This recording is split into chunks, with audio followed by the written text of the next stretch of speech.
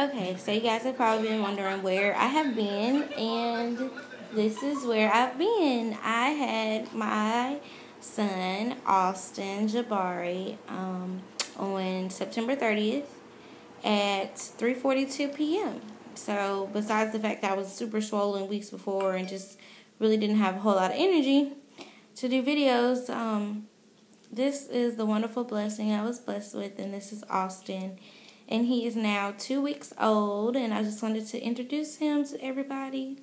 So, this is my baby, and I will be back probably next week with an update on myself. I don't know if you guys really want to see what I look like, but um, yeah, I'm just so excited. He's sleeping right now, but I mean, he's just adorable. He was five pounds, uh, 15 ounces when he was born. They rounded it up to six.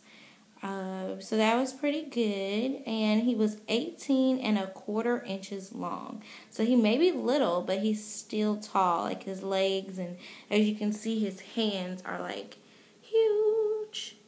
And he's just the sweetest little thing. Like he whines only when he has a poopy diaper or um, like his tummy is hurting or something like that. Like other than that, he, I mean, he's just quiet. He looks around, very alert. And I'm just excited to finally have my little man here. So I will see you girls later.